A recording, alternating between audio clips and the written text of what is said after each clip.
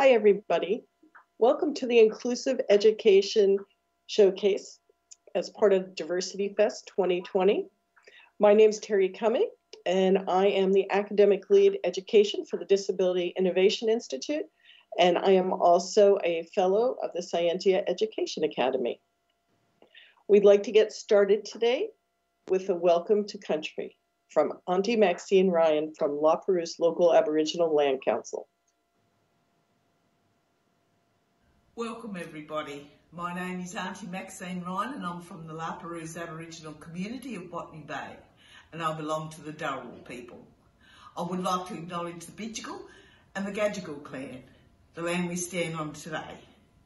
And I would like to acknowledge my elders, past and present. And I would like to welcome you all here today the Kensington area of Sydney is significant to my Aboriginal community and my ancestors. Not too far from here during the construction of the new part of the hospital, there was, there was a fireplace that was discovered. And with that discovery, with modern day technology, it come out to be 6,000 years ago which is significant in testing these things as my people have been in Australia on the land for 6,000 years ago. And my people would care for the land and water within the country in close connections to the environment.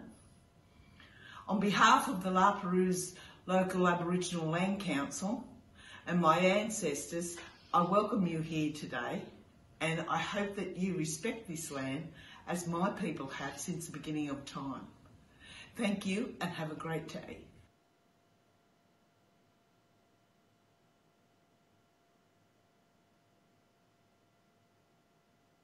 Thank you, Auntie Maxine. Um, just some quick housekeeping before we get started today. If anyone's having difficulty and cannot use the chat function at the top of the YouTube screen, please email the Disability Innovation Institute at diiu at unsw.edu.au. And if it's really an emergency, we have a phone number you can call if that doesn't work, but there is somebody on the email checking. Please see the closed caption button at the far right bottom of the YouTube frame. You can turn this on and off as necessary. The audience Q&A is via YouTube Live, top chat. On a web browser, it's at the top right hand corner. On a mobile device, it's directly under the video. And if you post your questions, they'll be passed on to the presenters after every presenter's done. We'll have a question and answer period. So in order to not waste any time, I am going to go ahead and introduce our first presenter, Nicole Santolin. Thanks, Terry. Um, first slide, please. Thanks. Um, I'm Nicole. I research student experience and online education. This year, I've been involved with piloting the Scandinavian assessment platform Inspera. One of my tasks was to run an accessibility audit on the platform. We found that Inspera met all the WCAG AA criteria, so we gave it a gold star for accessibility. With that hurdle passed, our team set about designing a demo assessment. The intention was not to build something accessible, it was to build something fabulous. When it was finished, I once again turned on my screen reader and was shocked to find that I couldn't even get through one question.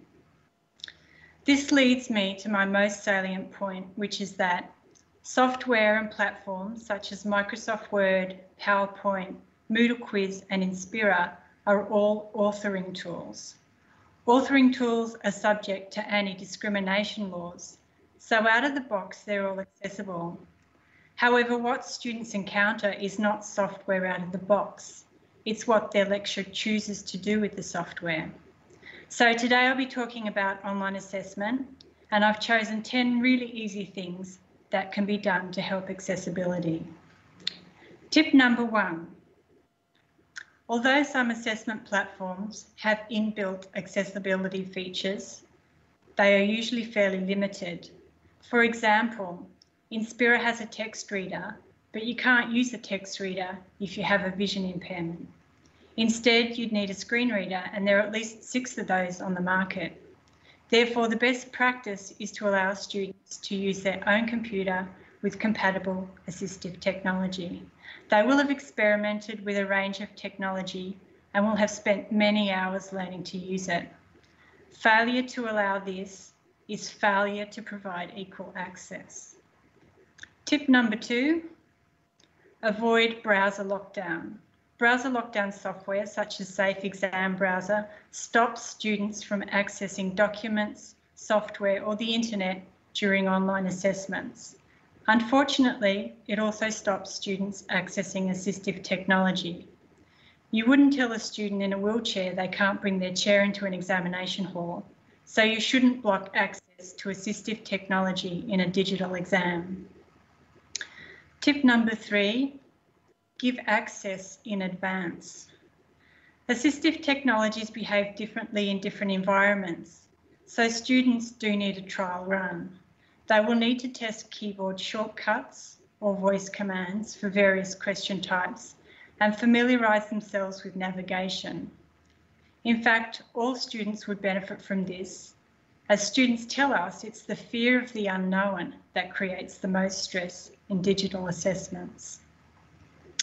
Tip number four, provide suitable image alternatives. On this slide, there's an image of a student staring at a computer. She has a frustrated, stressed look on her face. I put the image there because there was a lot of text on this slide and I wanted to balance it out with an image. We often get told that images need alternative texts, but this isn't true. Only important images need them. It takes a fraction of a second to access this image visually, but it takes quite a few seconds to access it through a screen reader. If the image is unimportant, we're wasting the student's time. It's better to go to the alt text editor and mark the image as decorative. This way, the screen reader will skip over it and the student can spend more time with the resources that really matter. Next slide, please. Tip number five, provide a resource that can receive screen focus. Although these two tables look the same, a screen reader would read them very differently. This is because table one is an image of a table, but table two is actually a table. For example, it's not possible to edit table one, but I could click into table two and change the data. If a screen reader finds an image of a table, it will search for an alt text. If no alt text has been written, many programs will auto-generate one. This is not appropriate for an assessment. Be considerate when using image files such as JPEG or TIFF. You should be able to pro provide this information in an alternative form, such as a written description or an informative alt text. Next slide, please. Tip number six, be careful when using colour. In Australia, approximately 1 in 12 men have a colour vision deficiency. There are many websites that can suggest colourblind friendly palettes, or it is sometimes possible to use words or texture to show this type of information. Colour contrast is also important. Very low contrast can make the contents of a page difficult to see.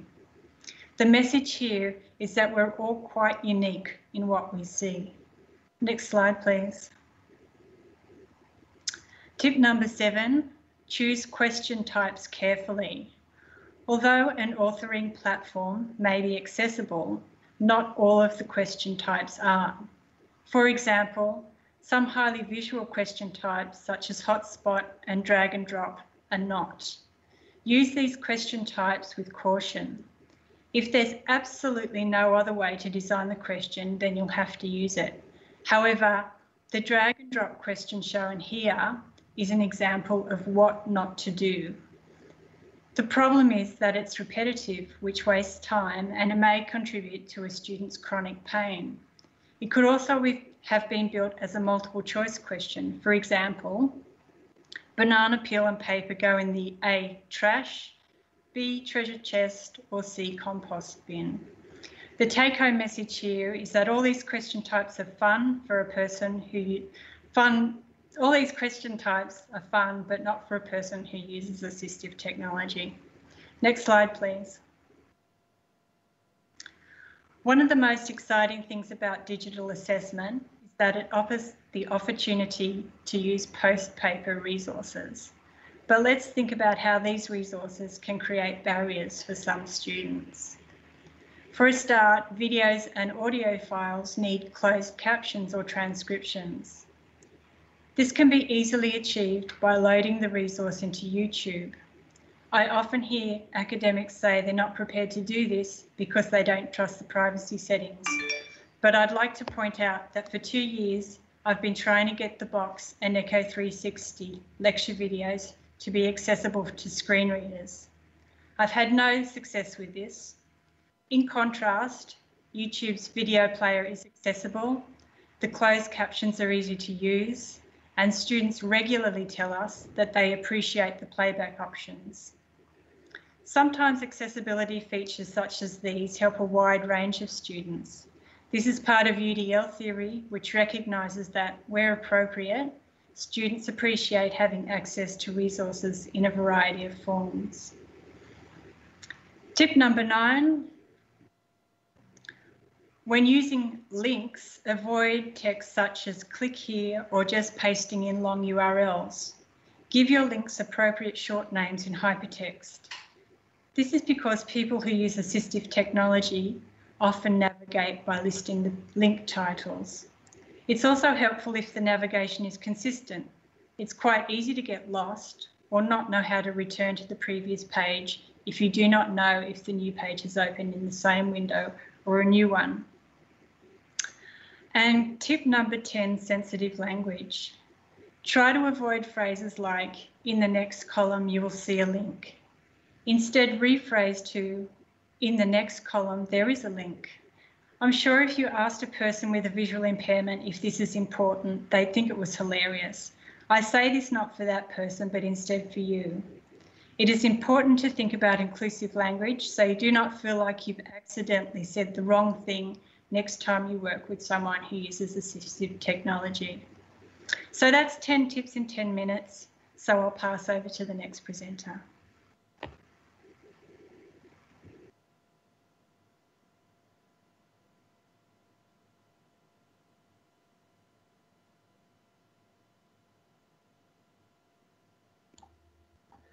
Good afternoon, everyone. The activity I'm about to describe has its basis in three overarching questions.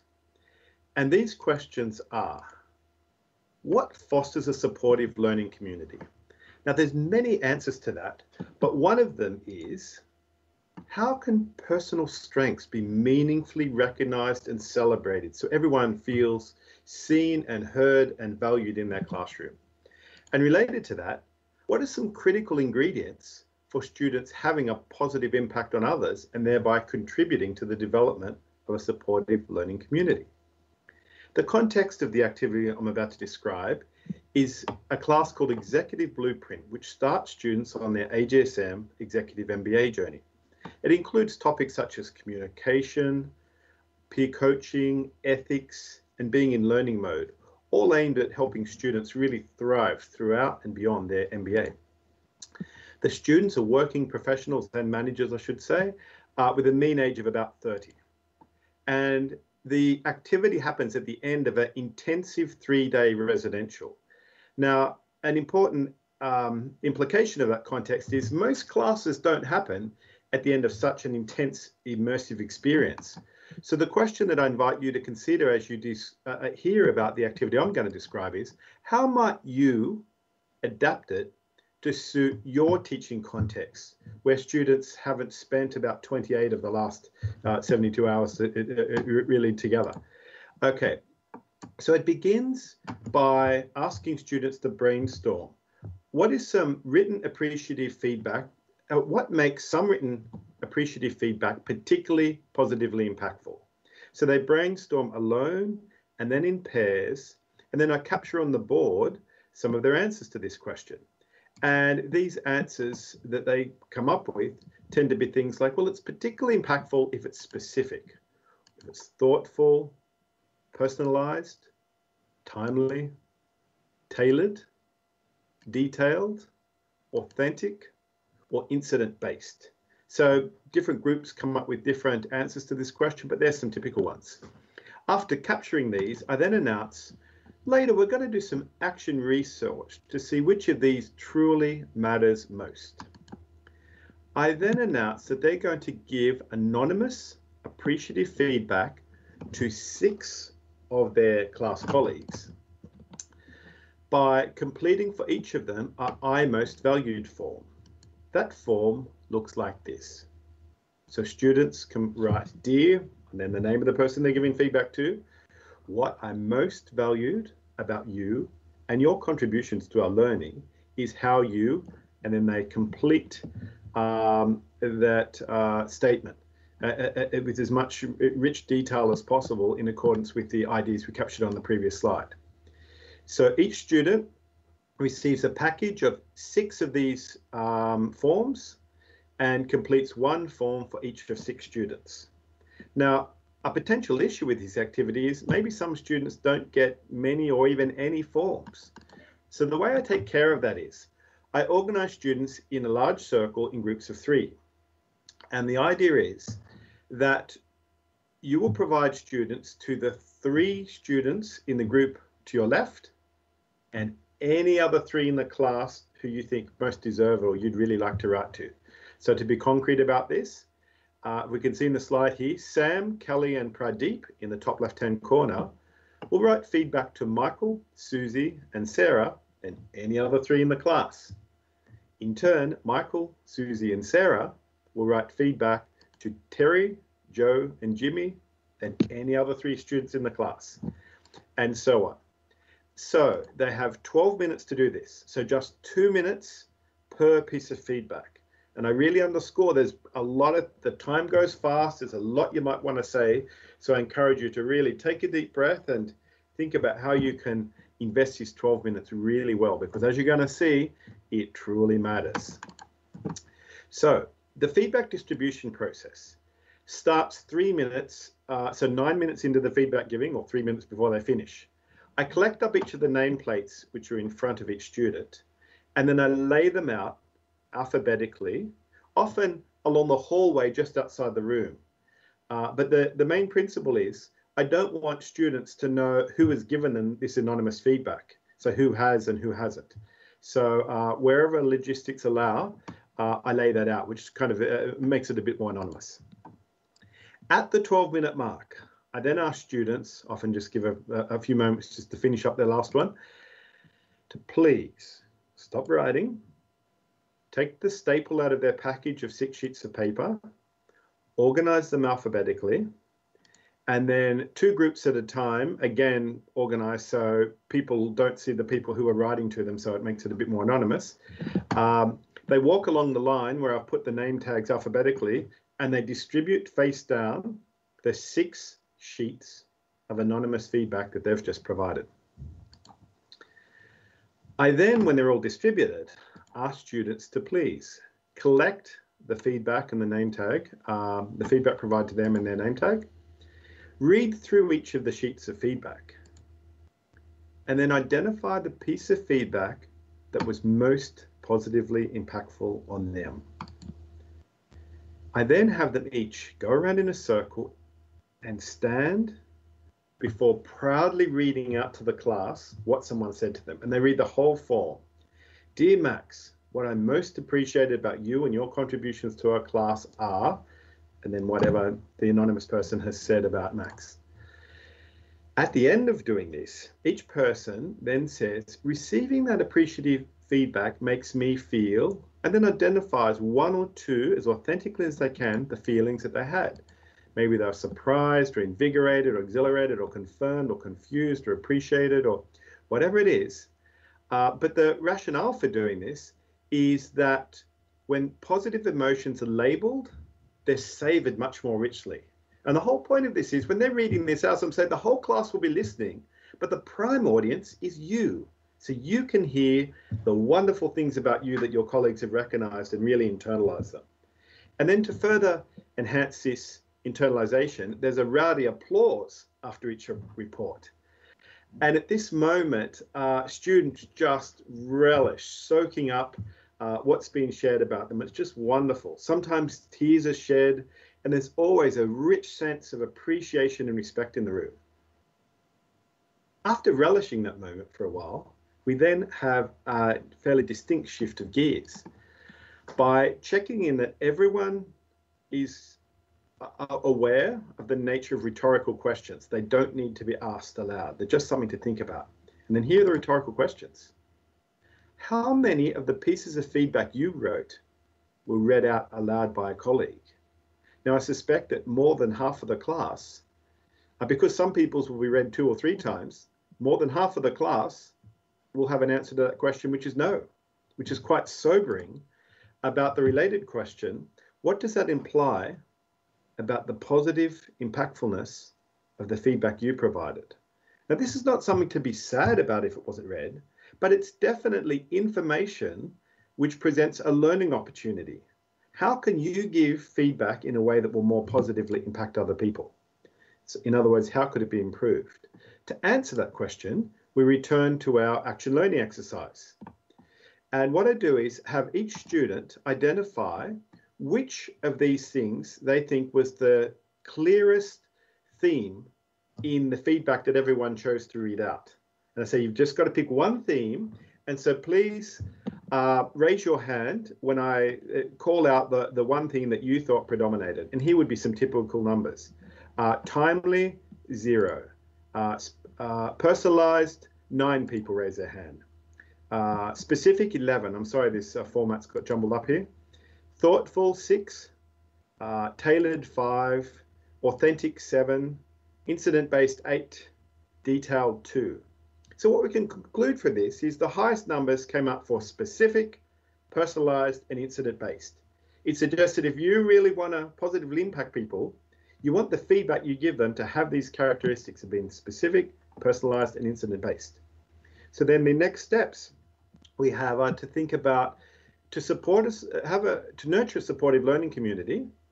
Uh, there's three questions here. What value-adding strengths of yours were highlighted by the feedback you received? and in what context could you apply them more often or more extensively?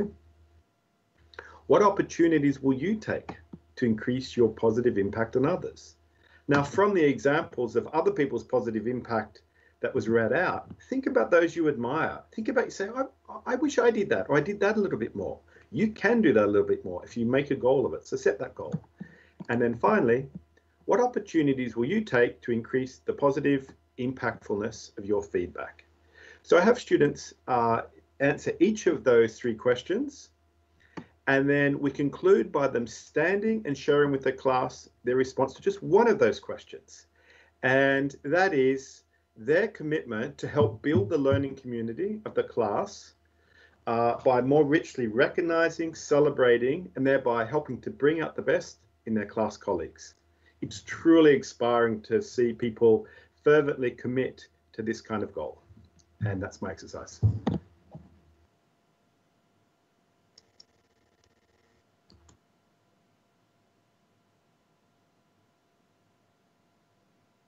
Hi, everyone. I hope you can hear me fine. Um, my name is Dow with a very long last name here, as you can see. Um, let me just go here and try to advance to the next slide. There we go. Okay, so I am a lecturer over at um, at the School of Social Sciences, and today what I'm going to do is just briefly. Let me put my timer on. There we go. To talk to you briefly about an experience that um, I it, it, sort of evolved over the, the past two years, but I really decided to make something different for this term. But essentially, what my focus is is really paying attention to well-being and mental health in the case student well-being and mental health and there's a couple of ways in which everyone can do this. Now, one of the ways when we're looking into well-being is to do some of the things that probably most of you already do, which is in curricular learning supportive environments, self-managing capacity building, supporting uh, well-being campaigns. And then one of the things that I did to sort of contribute to this area was I've created um, and introduced on my Moodle basically a section. My name is Deborah, so it's Dr. D. So it's Dr. D's live lessons. And basically, there, I'm always adding um, interesting articles that have to do with uh, procrastination, mental health, uh, managing time, with the student experience, or how do you find ways to better, um, I don't know, deal with university life. So it's more about just giving stuff that it's just really interesting reads um, and really encouraging students to, to go in there to send you stuff.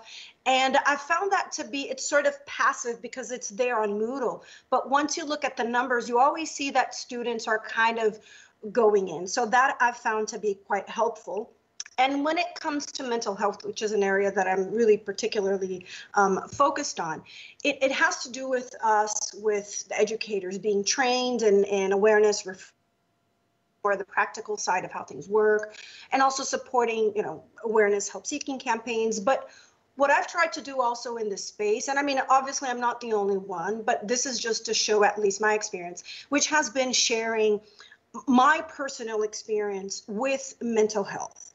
Now, just to put it in the context of a, a, a pedagogical structure.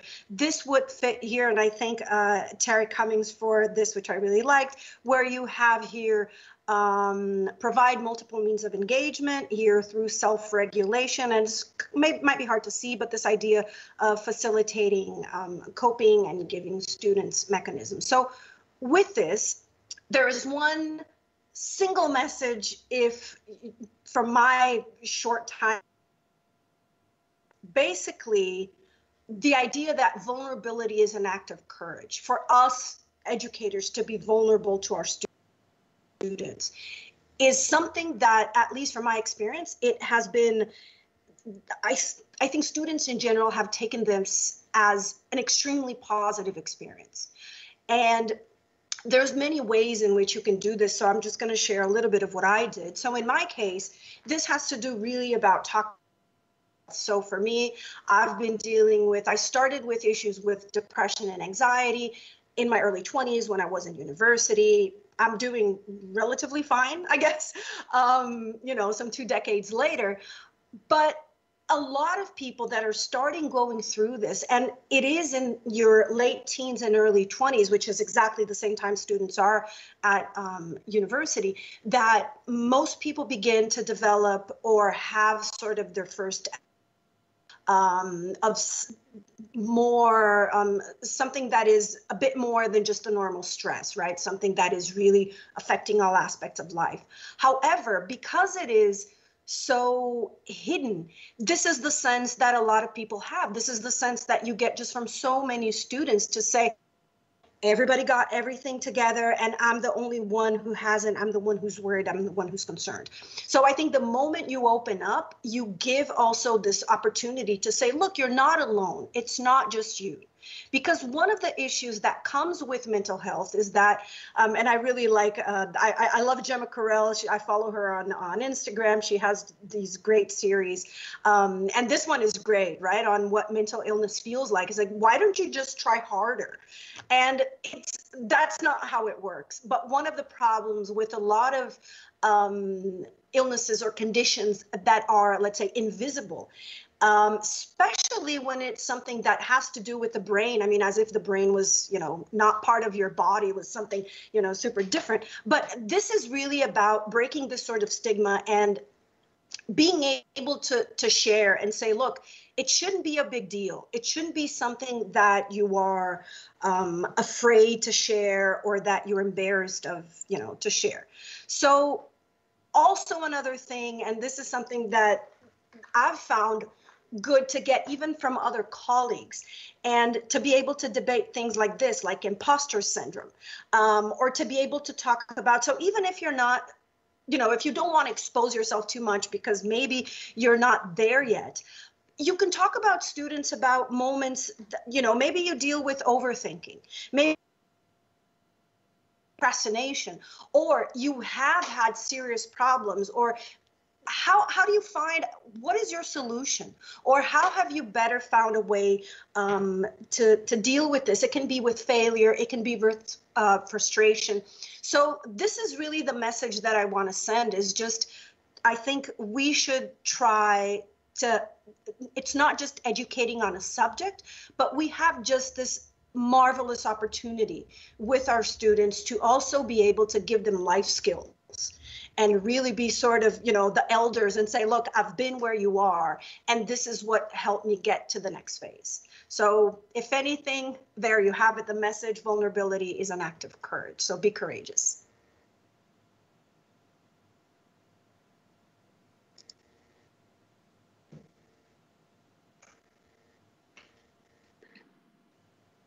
Good afternoon, everyone, and thank you for joining all of us this afternoon. Um, it's certainly novel to be presenting online, and I'd wish my Auslan interpreter luck because I speak quickly, so apologies already.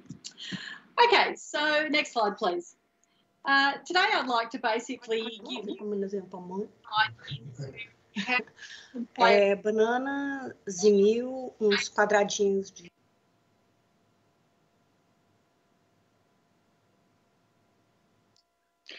Sue, you're muted. I know somebody muted me. There you go. All right. So, what I wanted to basically uh, talk to you today was how you can use some pre existing uh, live presentation software, which is called Zeetings.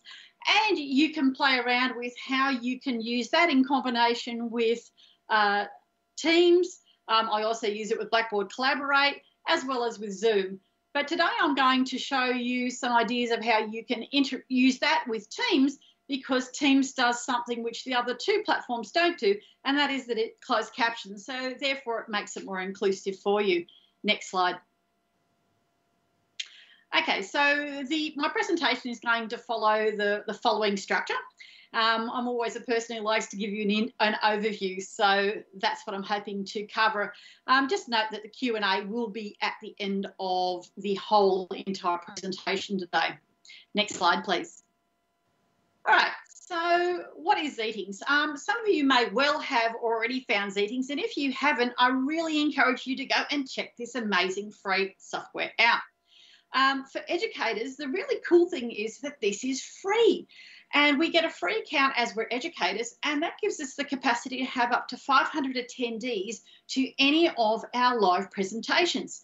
So while I'm lecturing to my large undergraduate cohort, and you can also do this with smaller postgrad classes as well, I will present lifetime using Zeetings.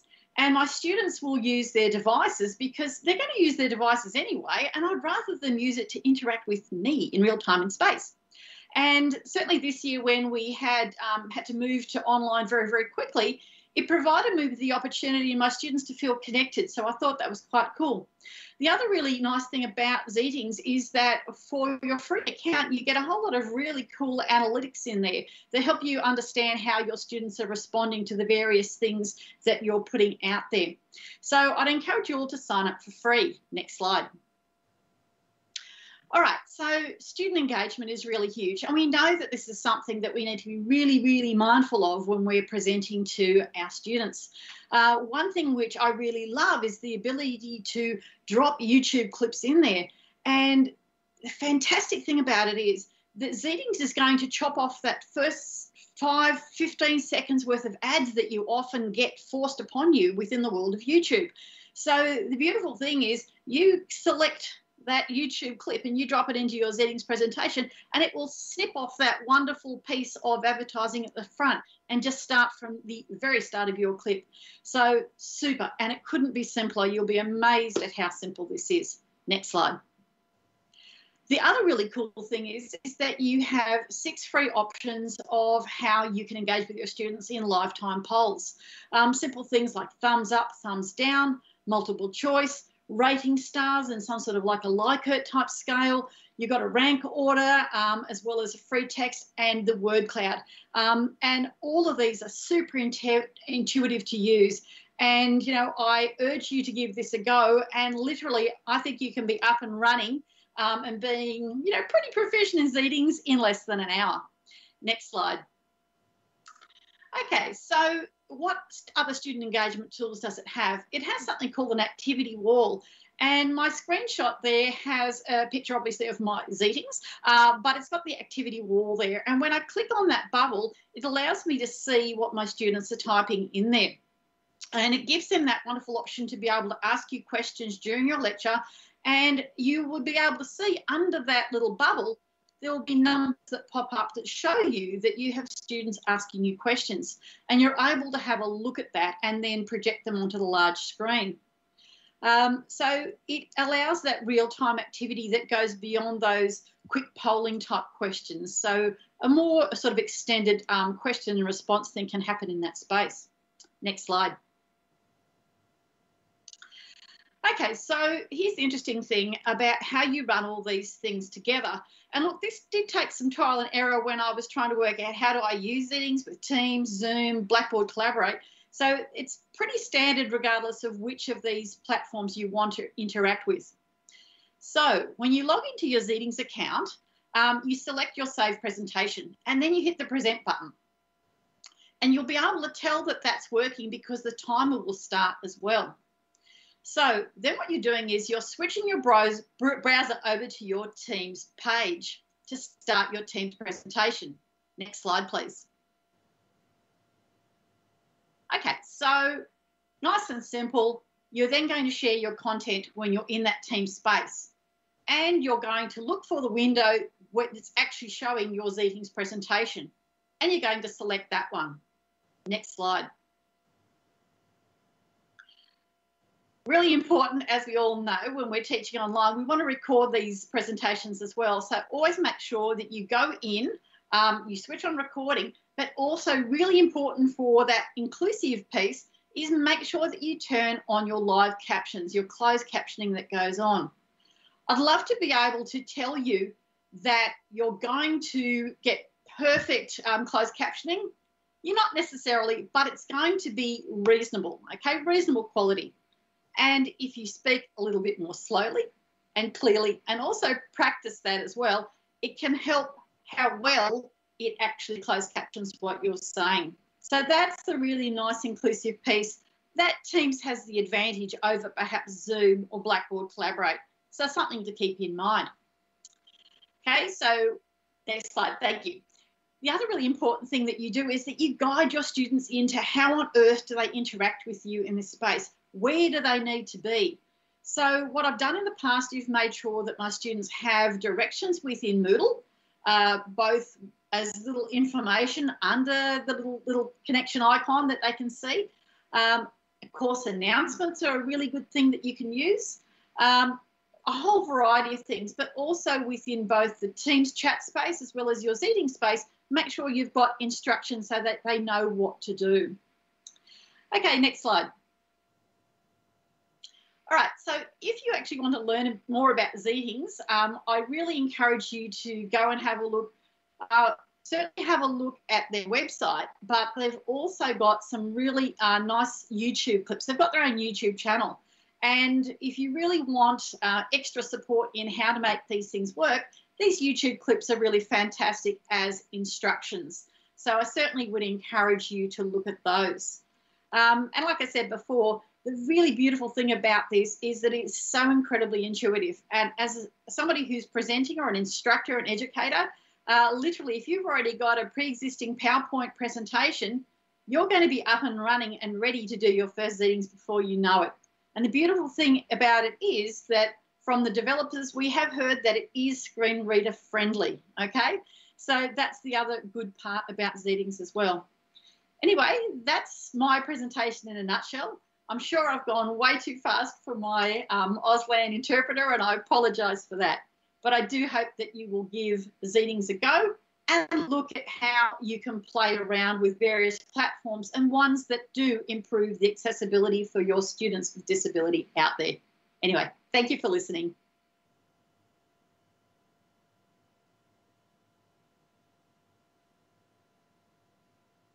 Hello, everyone.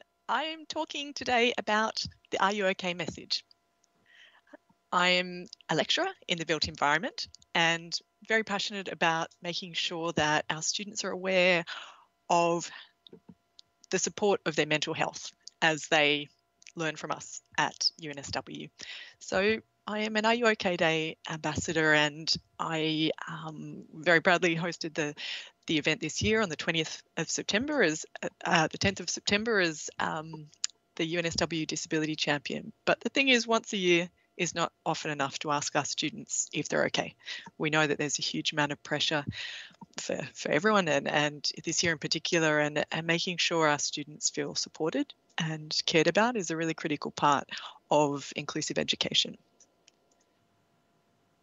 So in terms of how the Are You OK message fits into uh, the Universal Design for Learning framework, there are, various parts of the brain, as we know, that need to be uh, connected for, for deep learning to occur, and we need to provide lots of flexibility and options in these different areas of the brain that, that are activated to allow for the broadest possible diversity of, of our student body to feel included. So ways of engaging, multiple means of engagement is where this particular um, initiative comes from that I call the Are You OK monitor. So it's about really tapping into those expectations and beliefs about oneself that that it's possible to to achieve and, and to manage and cope with study and be able to reflect on and pause and, and think about whether or not um, on an individual level we are actually coping with our study.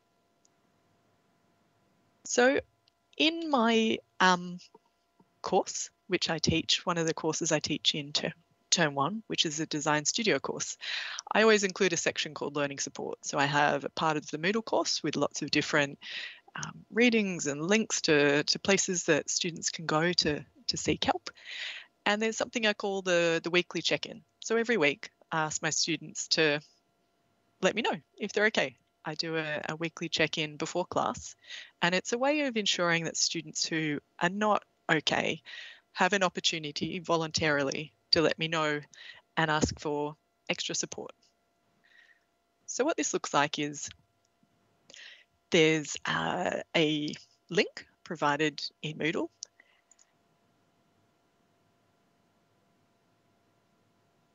and once the students open this link they're able to see just a short message that explains what it's about. So I very much reinforce that this is voluntary, that they don't need to, to do the, uh, the monitor, but that it's a way of just reflecting firstly in themselves and how they're managing, how they're coping, and then seeing whether they um, would like to indicate if they're struggling. And then I have the chance to get back to them and provide some extra support or resources to help them manage. So there are, I essentially uh, hack into the Moodle attendance tool. Obviously attendance is not mandatory, that's not what this particular initiative is about, but noticing and being able to track if our students are, are engaging, are participating in class is is important i feel in terms of including students who might be experiencing mental health conditions or might be particularly introverted or just not managing with the pressure of term. So firstly it's a way of just actually being able to notice if a student's not engaged with class for, for several weeks. And on top of that, not just know whether they've turned up. That's not that useful to know. Within the attendance tool on Moodle, the default is just present or absent. So what I do is go in and change that default and give instead a range of options from, you know, or all good or fine, right through to, um, you know, I'm just, I'm not managing. So there are these five levels. They could be shaped or modified in any way. Um, if, if anyone was thinking of doing this in their course, I've, I've thought about whether they could or should be more broad questions around, you know, are you okay on a, on a mental health level?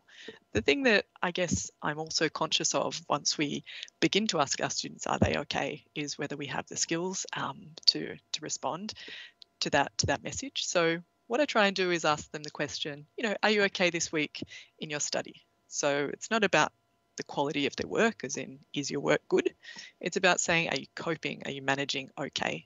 Students that do express that they're struggling, that's a way of initiating that broader conversation where we can start to say, is there you know, is there something else going on that might be holding you back? Is it a matter of just clarifying information or is there actually something happening in your life um, that might be worth dealing with? And here's a bunch of support numbers and resources that you can reach out to. Around 70% of students seem to, to respond to the monitor in I've, I've implemented this for three years. Uh, this this is a snapshot of, of a particular week, week three this year. Uh, so I guess what I noticed this was the week before an assessment, and I do I do track this each week. And I guess early on in the term, a couple of students indicated that they were struggling, and I was able to reach out to them. A little bit later, week seven, you know, some more students indicated that they were struggling. Both weeks were just before an assessment. Um, so whether or not the pressure was building throughout term or students actually just began to feel a bit more comfortable with indicating that they that they weren't managing, um, I guess was what I was digging into and and being able to offer that extra advice. Students responded to really positively. So what I do is I send a, a personal message to those students. And I let them know at the start of term that if they indicate that they're struggling or, or not managing, that, that I'll reach out to them. It could be an anon anonymous thing, but all that would really help me to do is send out an, a generalized message to the cohort with general information on how to how to cope and how to manage but i already do that. So the idea of this monitor is actually to allow me on an individual level to reach out directly to that person and say, hey, you know, I, you mentioned that that you're a bit confused you know let's let's chat about it. I reach out firstly by email. Usually that ends up in a you know a bit of a dialogue. I offer to have a, a chat on um, now via teams uh, or before or after class i just try and figure out if what's what's holding them back what is it that is happening at this time completely on a voluntary basis and certainly with no pressure to disclose any aspect of their life.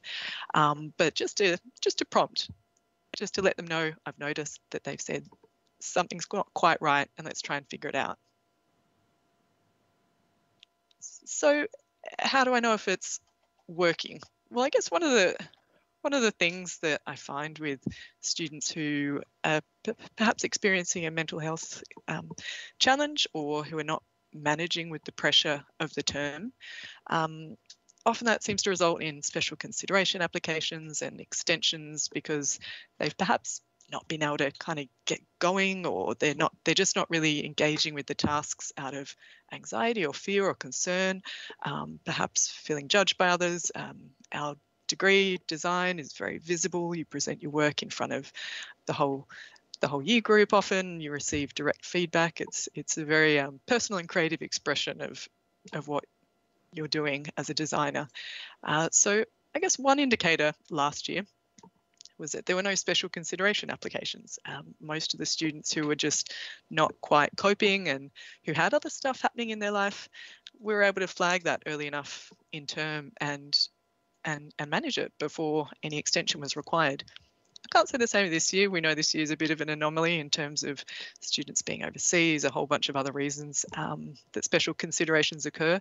But there was still that ability for a lot of preemptive and proactive management of students who weren't perhaps on track for where they should have been at that term and had something else happening in their life that was impacting their study.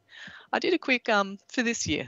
Um, I did a quick analysis of the, the my experience comments that came back, and the the thing I guess I was really happy about was that students indicated helpful was one of the, the biggest words. So learning the content and becoming a good designer, that's great. Being able to do that in a way where students feel supported, that's really my goal. And to end on, there's um, one comment from a student who indicated that that she valued, he or she valued uh, you know, the feedback thing, the check-in idea, and being able to receive extra help quite quickly. I note that they none of them could remember that it was called the Are You OK monitor, so I'll have to work on my marketing, but that's the uh, summary of the Are You OK monitor that I've implemented. Thank you.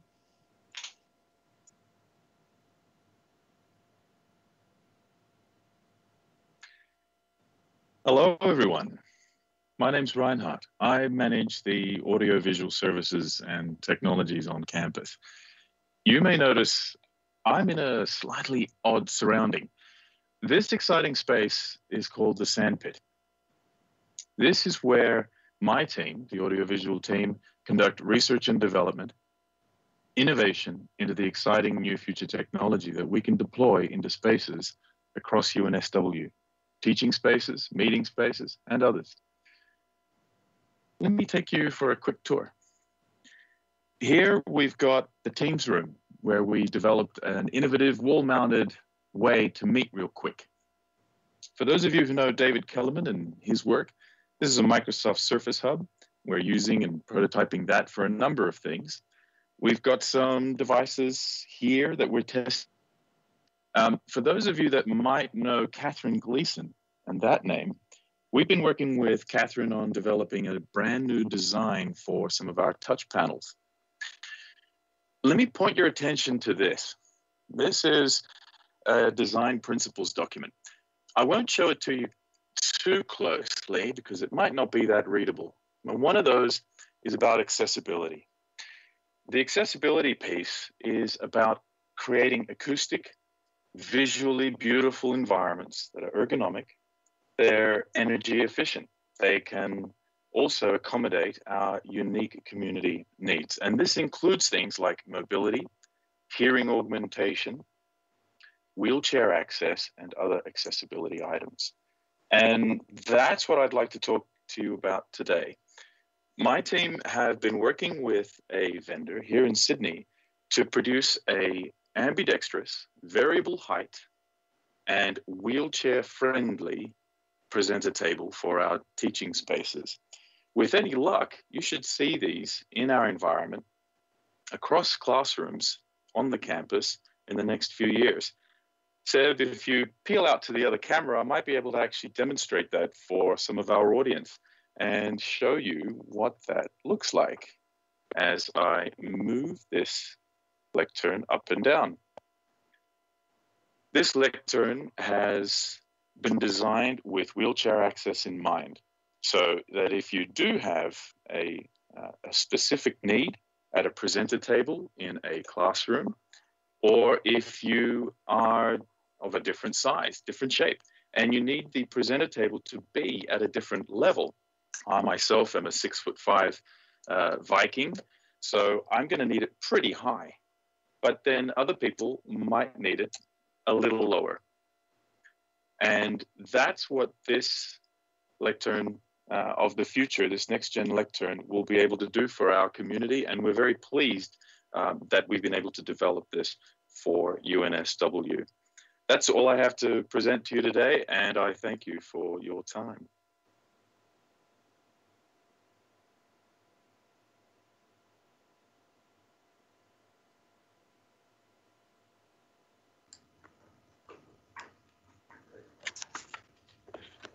Good afternoon.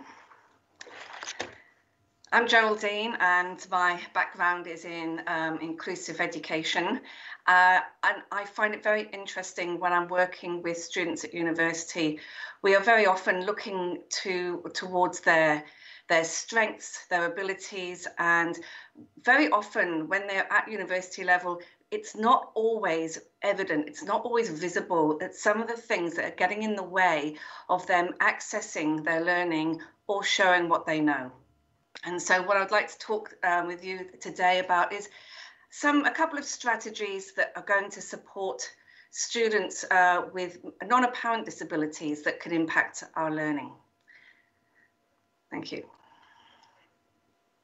So I'm going to first of all talk about the types of diagnoses that are common across UNSW and two um, case studies or two diagnoses uh, with suggested strategies that are accessible for us all. So very often we're dealing with students who are able or highly able, and when they have a diagnosis or a, a disability that affects learning, it can inhibit not just their uptake, but like I said, showing what they know. So what kind of diagnoses may we be seeing with our students? So there are the neurodevelopmental disorders such as ADHD or autism, uh, there's physical disability and specific learning disabilities. Those are things like dyslexia or dyscalculia. There can be things such as uh, the developmental language disorder, and of course, as we've heard from a couple of the presenters so far, anxiety disorder, depression, things surrounding mental health needs. So first of all, the first of the two examples I'm going to discuss with you are around ADHD, attention deficit hyperactivity disorder. And there are, there are mainly two subtypes that we will be, will be evident um, with people, students, our students or anybody who have this diagnosis. One is the hyperactivity subtype and one is also the attention deficit subtype. You can get both in, in the one person, but more often than not, we're finding that those with the attention deficit subtype are at university presenting here. But for all of these students, these are the key areas that we do see that they have um, difficulty accessing. So things sometimes like problem solving, and somebody's asked me before, you know, what, what is it about problem solving? If they're clearly, if they're at university and they've passed the grades and they've shown ability to be here, why are they not able to problem solve? And it, it can be simply that uh, uh somebody I know who has ADHD said it's, it's like I've got 20 tabs open in my head at one time. And so I can problem solve, but my problem is closing down a lot of those tabs so that I can focus on the one thing. So this, of course, also leads to things like planning. And when we, our expectation of our undergraduates and postgraduates is that they are able to plan and organize and, and stage out, chunk out their learning and prepare for their assignments and the, the loop, the, the hoops they have to jump through. And so um, they, we can see difficulty with focusing, and that can be really difficult to see when we are in presenting in an online environment. Uh, when we do see difficulty focusing, that can actually be a very short or no attention, uh, can be forgetfulness, and we might see hyperactivity. But again, these are not always going to be clear in uh, an online environment. So we're looking at the two tubs, subtypes, but I would like to focus on two things that I think we can help across the board, across all of our subject areas, and that is around planning and organisation. So with planning and organisation, I think it's very important for us to, when we're presenting text, presenting uh, a text, whether it's um, through papers and written word, whether it's through PowerPoints, whether it's through things like videos and audios, I think it's really important that there is something additional to support the presentation of that text, something that takes away a lot of the white noise that can be present with a lot of text. Simple diagrams, for example, mind maps and keep referring back to the mind map. Having people with ADHD very often see the big picture and then we nut down into the details and they can they can find get lost within the details so we need to keep going back up to that big picture the mind map or create things in a tabular format to say this is where we are. Now we're going to go down here and then come back up to that main picture again. So using things like mind maps and they can be quite literally hand drawn anything would be uh, better than nothing to help students. The other thing uh, is forgetfulness. So if a student hasn't reached out to you and said, I need support with organisation, I need to have mini goals or uh, and chunking in place, then this is what I do with all of my students anyway. And of course, I have in mind those who are prone to be disorganized or feel forgetful about certain things. So there'll be various ways in which I will do reminders. I will just do things through the Moodle. I will do things through um, through the announcements, through the collaborate sessions, through direct emails to everybody, just little remembers. And it doesn't have to be an email, it could be just a visual, like just a friendly reminder and a little bit of text underneath. The other thing I'd like to look at is uh, dyslexia. And dyslexia is, uh, it can show um, it can show itself in many different ways, and it also can be very non apparent. And so, with students who have dyslexia, again, they need planning and they need time to digest um, text and the information you're giving them. And it won't just impact literacy, and you won't just see it through spelling. You may see task avoidance. You may see working memory. When you're in collaborates or tutorials, you may see working memory. So visual cues can be very, very supportive again for students with dyslexia. So this is how I would work with uh, the students across the whole unit. So I do I don't necessarily focus on students who I know have a diagnosis. I will just give this to everybody because some people don't know they have anything happening and they just find things hard work or they may not want to share it with you or with the with the rest of the cohort. And so i just provide um, lots of things. The main things i do again are mind mappings a lot of tabular things and a lot of chunking. Chunking not only of the content and the information but also chunking around uh, the, the planning through the course what's expected and at which point just to build on what um, Sue was saying earlier on, using different platforms, for example, Zeetings, using interactive graphs, using um, things like Mentimeter, YouTube, all of these things to support and build upon. And the other thing I'd like to mention here is with, with all of these students, and, and it may be non-apparent, is high levels of anxiety uh, can can be sitting in the background, and anxiety, as we know, will will interfere with so many parts of our life, including things like organisation, planning, coping in general, submission and deadlines, and, and things like that. And so, I would be looking at looking at the sites, getting the support, and putting out. I always putting out um, information and support requests and saying to people, you know, if you have an issue with this, or if you have any questions, and there's no such thing as a, a, a question that can't be answered. There's always a solution somewhere. Please come to us because if you're thinking of it clearly somebody else will be as well. So activity walls and Padlets and polls, if they are anonymous, this can really support because those students who have maladaptive perfectionism or anxiety will not necessarily want to ask some questions. So I always have an anonymous Padlet on my course where I ask people to give feedback that is anonymous so that I can address it uh, as we go. And that's all I have time for. Thank you very much.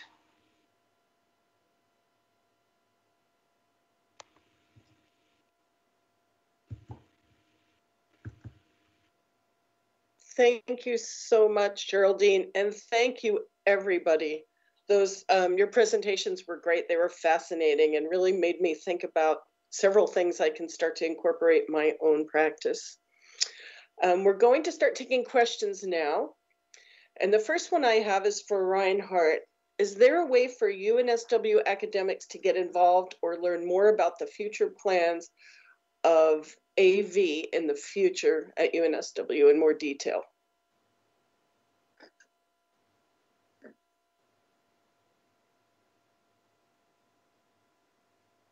Oh, he's gone.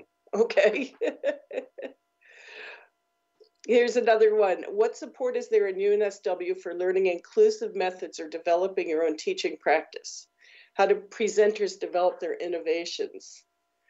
Um, I believe that several of us did our own research on that. Um, before I was an academic, I was a high school teacher and I used UDL in my classroom then. So I was trained through professional learning back in the United States. Um, but we have the benefit of a few things going on here at UNSW. We have a, um, in the Teaching Gateway, there's a whole page on U Universal Design for Learning that Alanya's put together with the PVCE, and there is all kinds of resources and links that you can access. There's even a training module there to help you. Um, Dr. Sue O'Neill, who presented here today, teaches a class on UDL, and that's something else you could access. I'm just looking for other questions. Um, does anybody else want to add to that, Sue or Alanya? Terry, I guess I would just add that I, I try and focus on and, and really lean on my own experience as a student way back when. I think reflecting back on how you felt when you're a student can help to create some innovations around how we can teach inclusively if particularly you're a student who perhaps um, was a little bit more introverted or didn't feel as confident in, in participating and engaging. For me, that's where I drive a lot of the motivation for developing teaching methods. And don't go anywhere, Alanya, because somebody also asked if um, there was any issue with misuse or abuse of your Are You OK system. Yeah, thank you for asking. I I haven't had any any negative uh, experiences with it so far. I, I, guess the main thing I was cautious of and, and really thought about before implementing it was making sure no one felt pressure to respond, um, that it's entirely voluntary, making sure they're very aware that it will show who they are only for the fact of and that's only visible to me, not to anyone else in the year. Um, so making sure students are aware of that so I can reach out and check if there's anything I can help them with. And also um, I always check with them first if I can loop in their tutor, if it's something I feel their tutor might be able to help support them with more or if it's something that their tutor would benefit from knowing if there's something happening in their life that might be helpful for them to be aware of but i always check with the student first i guess in terms of the way students might respond i suppose the the worst that can happen is if they're okay and, and they say they're not, or vice versa. Either either way, I, I reach out to the student and we just have a have a dialogue. Um, extra support is what they can receive. I don't offer extensions or, or anything outside of the boundary of, of what would normally be within our class. Thank you so much. Um, the next question, Deborah's um, and Sue have both offered to answer, and I'm going to go in that order. So, Deborah, what have been what have your experiences moving teaching online been? Um, I have to say, well, I think for everybody can say it's been interesting to use the word very loosely. Um, but I, I think there are opportunities. I think all of us pretty much realize that um, it's a different space, but we have to find a way to manage it somehow. And I, I, I think it's that's why for really be looking at um, student mental health and well-being because i mean just look at all of us right? All educators everybody's saying you know this is insane. This is the weirdest term semester i've ever been in. This is a crazy year. And i think it would be very unfair to not share with students this bigger process. So i think for me what it made me was even more acutely aware that everybody was growing through you know these difficulties and being able to share. And also i think being able to share things through different means. So what i found in terms of this issue for me of mental health is that i actually made a little video.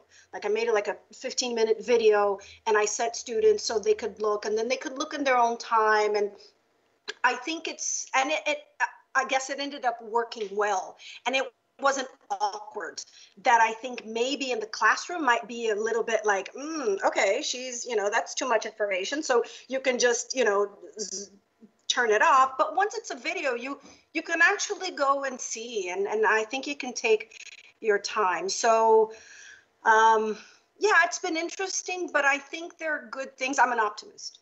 So I do think that, you know, out of this madness, there are things that we can take as a positive. Thank you. And Sue?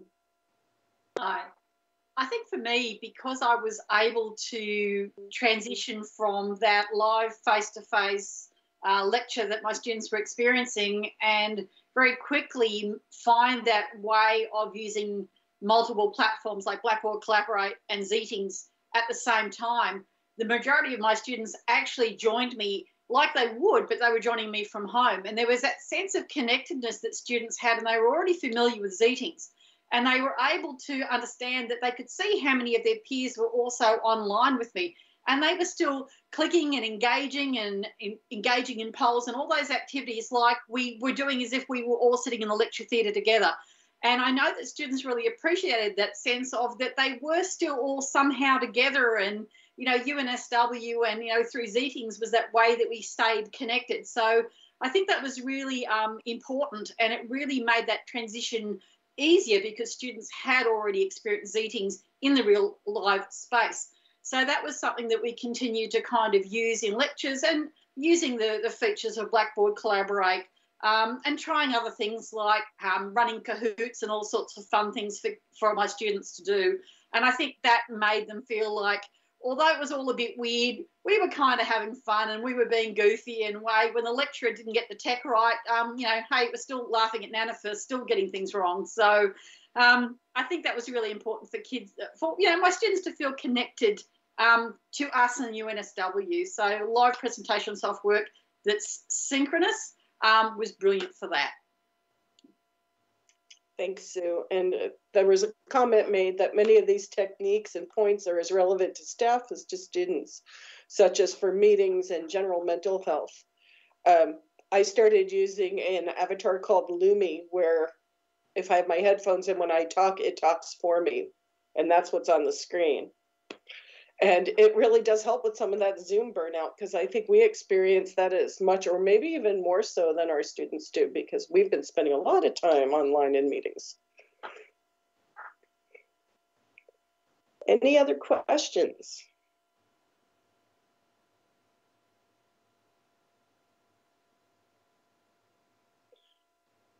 How do we do, reduce stigma about asking for additional support? That's a really interesting one because it's really difficult for students. But um, I don't know who wants to speak about this. I can. Okay, Geraldine. Oh, sorry, I, I sort of oh. jump in, but I can say first is tell students that it's okay, and that's one big lesson that that I sort of learned this year. I'm relatively new to to UNSW only two years, but it's to say, look, this is to your advantage. And this is why it's actually, I think once you explain and say, look, the advantage of actually looking for this is that it levels the playing field for you. And you have an opportunity to do the work in the way that you want to do it.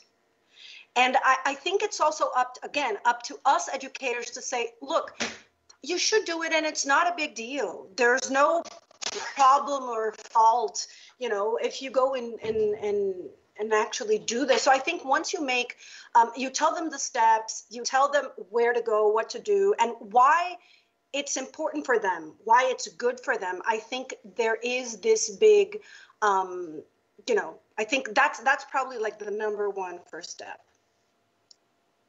Geraldine. I I I use uh, case studies, and when I, initially I had to kind of pull together a, a, few different ones to make a case study um, to, to show examples of, of how things can be for students from what could be perceived as fairly mild to what could be perceived as more ex extreme in needing of support. And so and that, that it's all okay. And this is where i found the anonymous feedback initially was really helpful because it's just i'm not saying that is the answer but it is a first step. And even if some people respond to the anonymous feedback which i always do and then i try and build up the confidence say please email me. Um, let's have a conversation. So that's that's how i approach it. Thank you. Alanya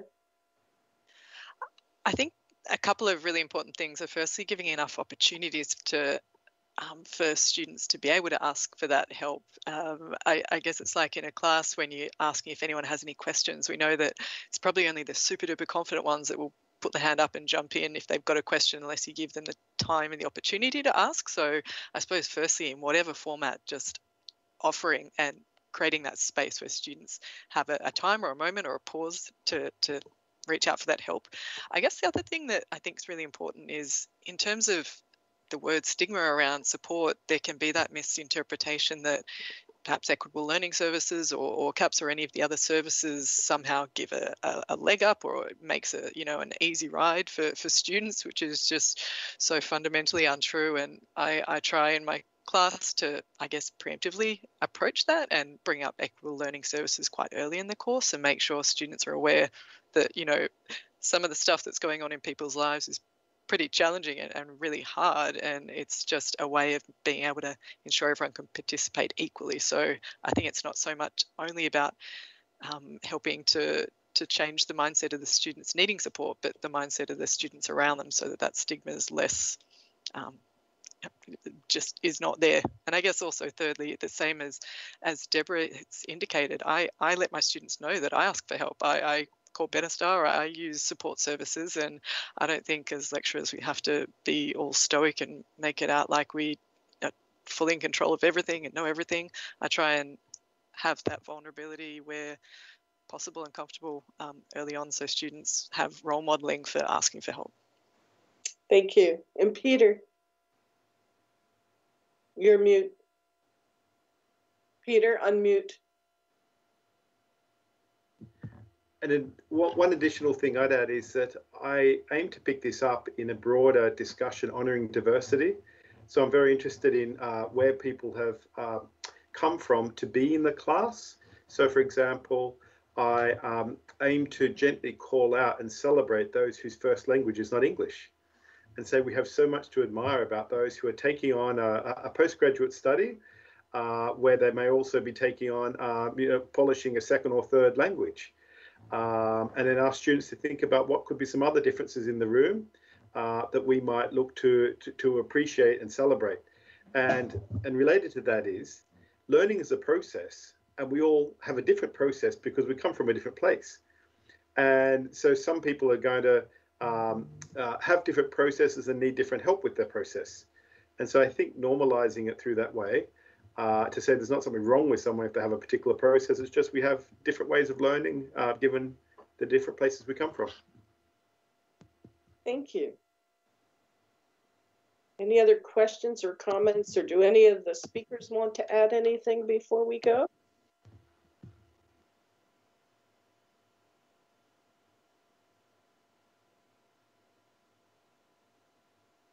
Guess that also has something to do with making it not about additional support, but mainstream. How do we make it mainstream? Yeah, I think like part of what several of our speakers talked about is you, you do make it mainstream. It's just part of your teaching. And I think that is so very important. And that's that whole universal design thing.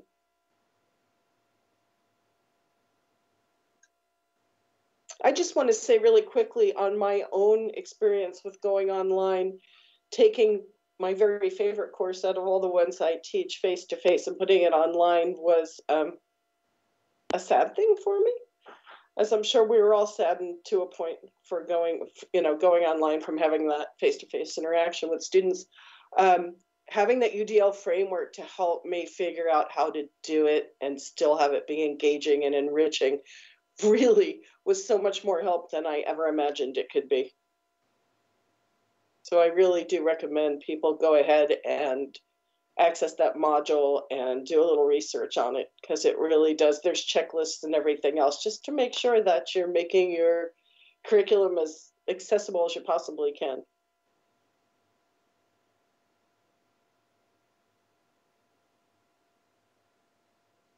Well, if there isn't anything else, I'm going to thank all of our speakers today. Thank you so much for sharing your expertise with everybody.